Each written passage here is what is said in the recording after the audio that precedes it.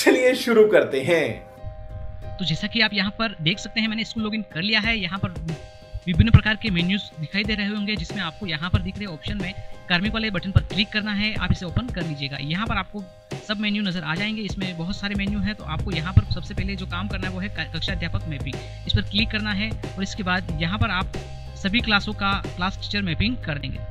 तो यहाँ पर मैं दो का जो क्लास टीचर है, उसे यहाँ सेलेक्ट कर लेता हूँ। इस तरह से सभी कक्षा के क्लास टीचर को सेलेक्ट कर लेना है। फ़िलहाल मैं यहाँ पर, मेरा जो नाम है, वो यहाँ शो हो रहा है, आप देख सकते हैं। तो सभी क्लासों के क्लास टीचर को यहाँ पर आपको मैप कर देना है। तो आप इसे बाद में एडिट भी कर सकते हैं, अगर आप चाहें तो ऐसा आपका इसे एडिट कर सकते हैं अपनी सुविधा के अनुसार। फ़िलहाल मैंने यहाँ पर एडिट कर दिया है।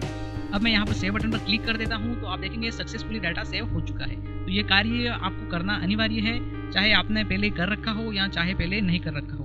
अगर आपका स्टाफ लॉगिन में आप किसी क्लास टीचर का, उसके स्टूडेंट की क्लास शो नहीं हो रही तो क्लास शो करवाने के लिए यहाँ पर आपको क्लास टीचर मैपिंग करनी आवश्यक है। साथ में ही अगले सत्र के लिए भी क्लास टीचर मैपिंग करना बहुत ही आवश्यक है। दोस्तों बताइएगा कैसी लगी ये इन्फॉर्मेशन आपको और साथ में ही आप हमें बताइएगा क्या आपने हमारे यूट्यूब चैनल को सब्सक्राइब कर रखा है या नहीं कर रखा है। जल्द भी मिलते हैं एक नए वीडियो के साथ। तब तक के लिए राजगुरु जी साइनिंग आउट नमस्ते।